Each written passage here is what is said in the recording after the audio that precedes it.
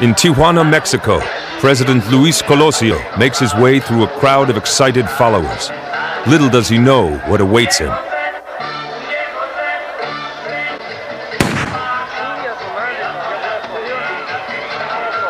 An assassin has just put a bullet in the president's head. Chaos ensues.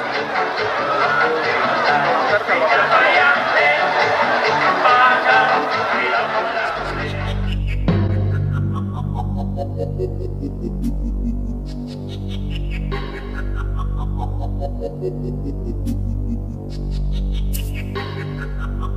slow motion, we see the revolver appear out of nowhere and fire at point blank range.